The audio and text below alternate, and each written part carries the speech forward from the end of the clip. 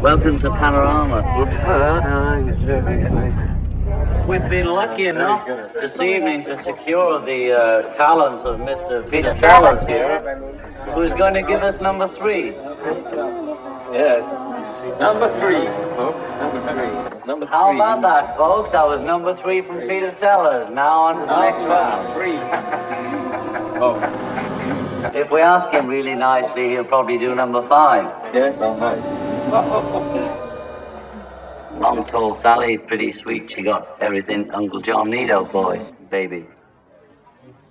Your chance to win a Fab Free Beatle. Send in 39 disc tops. Wake up, Lennon. What, uh, what are we discussing at this moment? What's the, uh... The film. Ah. Oh, this is the. It's a come to documentary my- of how the Beatles worked. Yes, It's a documentary. We shouldn't keep it all to ourselves. We should spread it out. You know, we want to share with the world what what we have, Peter, and, and this is what we Oh, have. but we haven't. No, this is we just sort of sit here and allow ourselves to be embarrassed about this time every day. Oh yes, come on now. You're talking to ninth best dressed male pop singer in the world, you know. No mean city. Yes.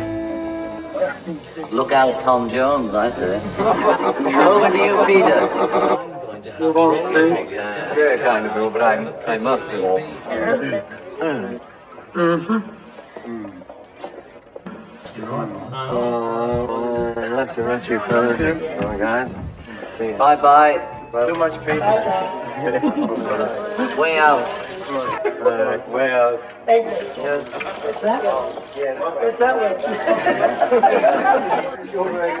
Just don't leave the needles lying around, you know. We've got a bad reputation now with John getting busted and that. Crumbs, alright? Really not feel well. Well, that's all for this evening.